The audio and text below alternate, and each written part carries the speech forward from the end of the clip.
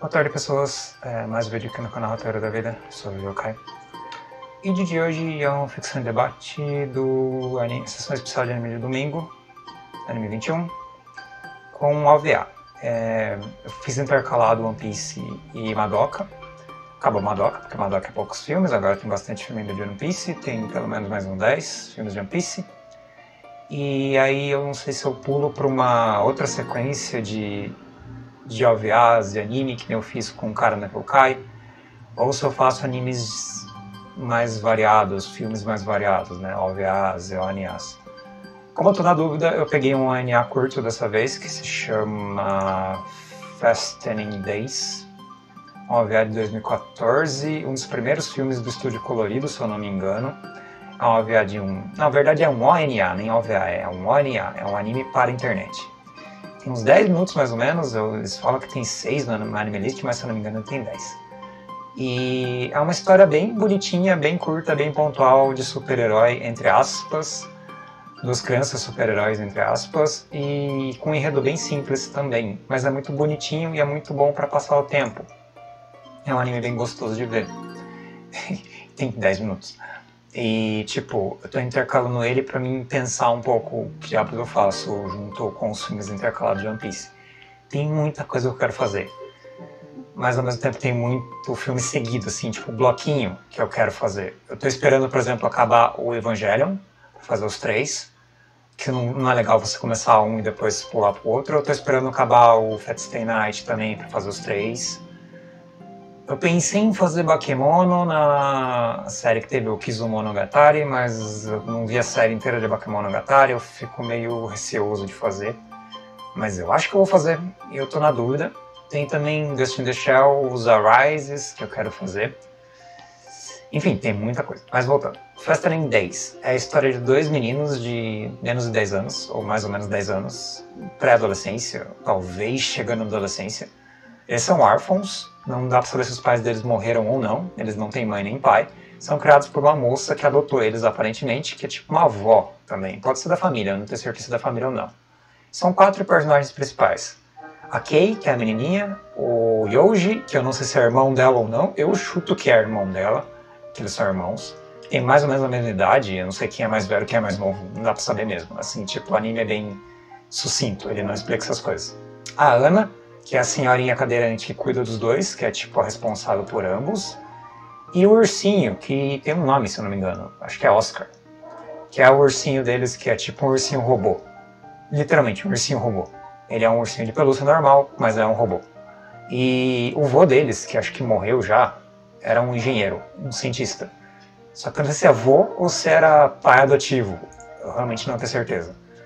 Mas ele veio falecer. A gente só tem a, a Ana cuidando dos meninos. E aí tá adolescência, umas crises comportamentais estranhas, mas o segredo do negócio é que os dois são super-heróis. Vou cortar para vocês verem as imagens, é legal de ver as imagens. Esses são os dois. Eles são super-heróis, ambos. Mas que tipo de super-herói que eles são? Ajudantes da vizinhança. Eles cuidam da cidade, eles ajudam as pessoas a se unirem. Eles não combatem vilões, eles não combatem conflitos dos mais diversos, eles não são super-herói clássico, eles são super heróis da amizade, digamos, do conjunto de, de fazer as pessoas se sentirem bem. O único poder que ambos têm é a tecnologia. E eles são herdeiros de um vô engenheiro, então eles também são engenheiros, eles fazem engenhocas. Ambos fazem uma espécie de é, catapulta de zíper, pode dizer assim. Parecido com aquele esquema do Homem-Aranha de soltar eles não soltam eles soltam zippers e é muito legal. Assim, tipo, a arma de soltar zíper é muito divertida, porque você solta uma, uma, uns lados do zíper, o outro lado do zíper e fecha. Então eles são meio que os arrumadores, os fixers, aquelas pessoas que consertam coisas rasgadas na cidade ou que fazem é, pequenos crimes bondosos, digamos, onde eles é, sacaneiam as pessoas que estão em conflito ou as pessoas que estão é, afetivamente relacionadas, né? Eles não sacaneiam nesse, nesse sentido, eles juntam as pessoas de maneira afetuosa. É bonitinho e eles fazem isso meio que junto à vida cotidiana deles é, na escola, né? Eles vão na escola e tal, e esse é meio que a, é o segredo, que não é segredo, embora eles sejam super-heróis que meio que usem não usa máscara, então você fica meio, será que eles são ou não super-heróis? É, bem, na verdade, esquece, eles não são secretos, eles são simplesmente duas crianças com poderes estranhos, fazendo coisas estranhas na cidade e sendo aceitas. As pessoas aceitam eles. E essa máquina de zíper é muito legal. E o que eles fazem no decor do anime? Eles são um pouco melancólicos, ambos, principalmente a menina, é, por causa de ter o pai e a mãe, né? Então sente uma falta muito grande da, da figura materna, da figura paterna. Tem a avó, que é a Ana tal, mas o, o pai substituto, né? Ou mãe substituta no caso, mas não supre os sentimentos da, da menina. E ela vê todos os colegas dela tendo pais, tendo alguém adulto cuidando das crianças. Ela sente um pouco solitária. O menino é um pouco mais debuloso, assim, não dá pra saber qual o sentimento real dele sabe que ela tá nessa fase um pouco é, grosseira, ela até é um pouco mais educada com a Ana em um ponto, no, nos frames do anime. E, enfim, ela tá numa fase sensível. E é muito bonitinho a relação dela com o irmão dela, porque eles são realmente os melhores amigos. Eu acho que são irmãos, não tenho certeza.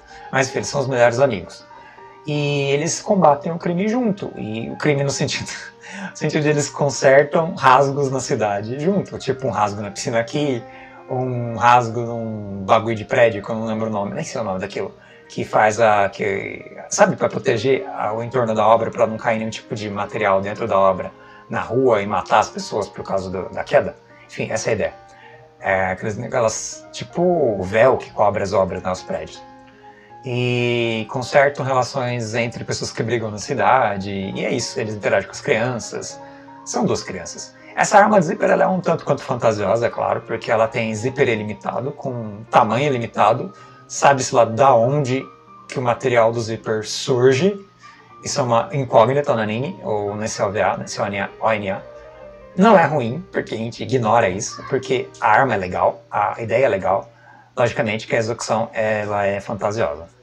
Mas também tem a cadeira de rodas da avó deles, barra mãe deles, a Ana e aí é uma cadeira de rodas extremamente tecnológica, assim como o Ursinho, que também foi feito pelo vovô, que provavelmente morreu, que ele não está na história, só aparece lá na foto, como vocês viram no, nos slides que estão ali. E fica nessa incógnita, você vai ter que ler o anime pelas entrelinhas. E é um anime rápido, fluido, bacana, um bom passatempo, é, a animação muito boa, a coloração muito boa, o ritmo muito bom. A música, a trilha sonora, tanto a sonoplastia quanto a trilha sonora final, principalmente a trilha sonora final, porque eu sou fã de Perfume. Perfume é uma banda idol japonesa de três integrantes, de, sei lá, mais de 10 anos de carreira já, elas começaram com cerca de 15, e elas têm minha idade, então elas têm uns 15 anos de carreira. A banda antiga, umas idols antigas, é uma idol, são famosas, tal, acho que é o único ídolo que eu curto mesmo, porque eu não gosto de ídolo, tal, não sou fã de música desse tipo tal. Mas eu gosto bastante de Perfume e a música final é muito boa, que é a ending do, do anime. Também é do Chi, aquele anime do, do gatinho, né? A Chi, é, Sweet Home, aquele em 3D que foi lançado um tempo atrás. Ela também faz as músicas sonora do, do Chi, é, a nova versão do, do anime, do mangá. Então, mais recente.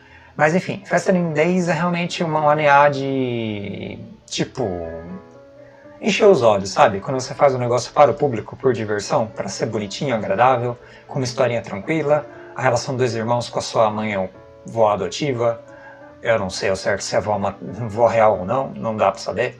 E eles sendo super-heróis com um poder extremamente divertido, limitado, mas ao mesmo tempo muito dinâmico, que é fazer zíper, consertar as coisas da base do zíper, e eles voando pela cidade com os poderes do Zipper é genial, é muito legal. E ele salvando a Ana, né, num momento lá que a cadeira dela entra em pane, ela entra em curto e fica completamente descontrolada e eles conseguem resgatar a própria mãe barra avó deles. E é legal, é bem legal. É até engraçado nessa parte, porque eles, o menino, que, qual é o nome dele mesmo? É Kei? É, Yoji, aqui é a menina o Yojo ele começa a roubar um monte de roupa, um monte de pano de tudo quanto é lado para fazer uma espécie de coxa de retalhos para salvar a avó barra mãe. Mas enfim, é bem legal, é bem bacana, é um, um VR que eu recomendo, vou deixar na, no link do YouTube dele.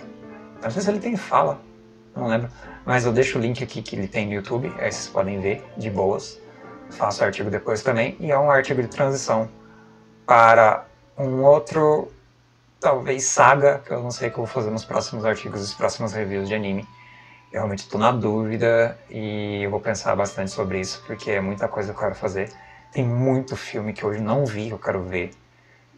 É, o universo, é muita coisa. E One Piece, com certeza eu continuo com One Piece, que tá divertido One Piece, ver um filme por semana. E as pessoas vejam Fast em 10, não custa 10 minutos da sua vida.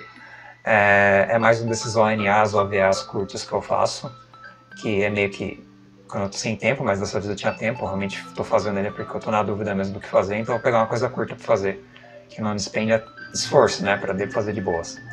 E é bom para você estudar a origem do estúdio colorido, a pegada do estúdio colorido, qual ângulo que eles têm. Eles fizeram um Tengen Drum. Aquele dos pinguins que eu fiz também, aquele da, da Marcha dos Pinguins, eu não lembro. Que eu fiz o review do anime também. Que é aquele filme. Entre outros filmes, o estúdio colorido ele é legalzinho. É, mas enfim, não era isso que eu tenho que falar. É, bom, é isso, pessoas acabando a vir por aqui. Obrigado por me ouvirem. É, até um próximo AF, não AF não. FD, de anime de sessão especial do anime domingo. O próximo é One Piece mesmo, o quinto filme. E depois uma surpresa, que você não sabe qual eu vou fazer, embora tenha citado os vários que eu pretendo fazer. Tem filmes que lançaram também agora recentemente, né? Ou nesse ano passado, que eu também não vi, eu queria ver. Mas, enfim, tô atolado de coisa. Esse ano aqui tem uma boa temporada começando agora também, né? Temporada de inverno no Japão. Cheio de anime, cheio de anime mesmo. Eu tô meio lascado. Ai, paciência. Até mais aí, pessoas. Falou.